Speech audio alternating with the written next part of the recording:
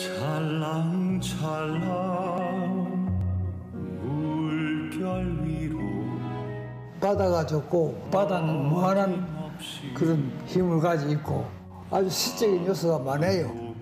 난 바다를 참 좋아합니다. 전체적으로 이제 밝고 이제 푸른 느낌 그리고 편안한 느낌 주는 주는 그게 너무 좋은 것 같습니다.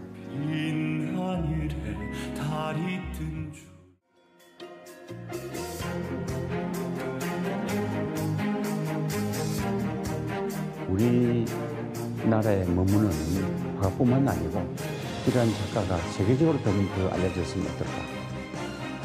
전 한국적인 민족 감정과 민족 정서가 100% 표현되면 난 좋다고 생각하고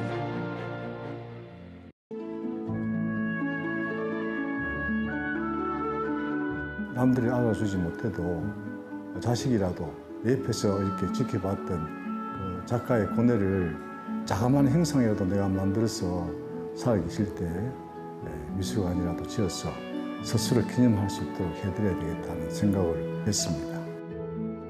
작지만 의미 있게 작가의 정신을 살려서 조그만하게 꾸며놨습니다.